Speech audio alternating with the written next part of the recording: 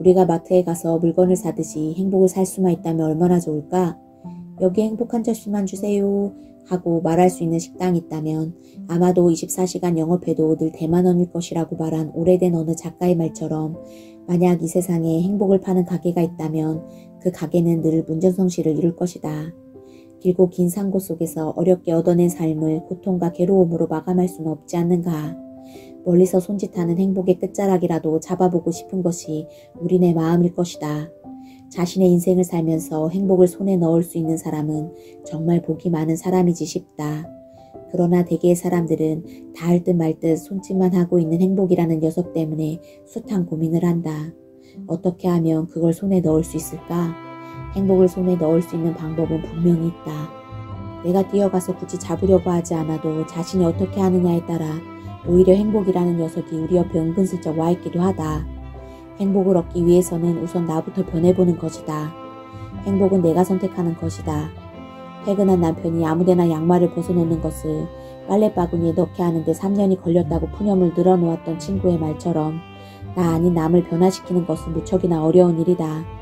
무작정 상대를 변화시키기 위해서 상대방만을 탓하고 못마땅해 하면서 많은 불평을 늘어놓고 거기에 계속 매이다 보면 시간은 부질없이 지나가고 자신의 몸과 마음은 점점 상처만 받게 된다. 차라리 자기 자신부터 마음을 바꾸고 변하는 것이 훨씬 쉬운 일이다. 어느 누구를 위해서 하는 것도 아니고 오로지 나를 위해서 하는 것이다. 마음속에 들어있는 많은 욕심들을 내려놓고 상대를 포용하고 자기 위치에서 최선을 다하면 어느새 행복은 와 있게 된다. 그렇다고 갑자기 마음속에 있는 욕심들을 한꺼번에 비울 수도 없기에 나부터 변하는 것도 쉬운 것만은 아니다. 그러나 자기와의 부단한 싸움에서 승리하는 사람만이 진정한 행복을 맛볼 수 있다.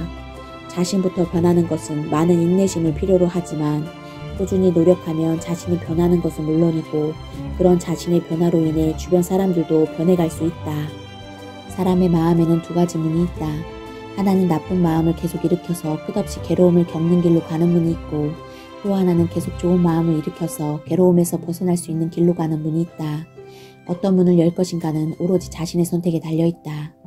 만약 지금 당장은 처한 상황이 억울하고 한탄스러울 수도 있더라도 수많은 생을 윤회하면서 자신의 마음이나 생각, 행동 등이 쌓이고 쌓여 오늘의 내가 된 것을 하루아침 바꿀 수는 없다. 하지만 중요한 것은 지나간 시간이 아니다. 지금 이 순간과 앞으로 다가올 미래가 더 소중하다. 미래는 현재의 내가 만든다.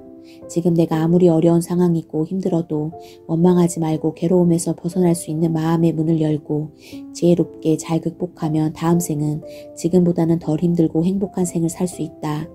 조금씩 변해보자. 한꺼번에 많이 변하려고 하면 힘이 든다.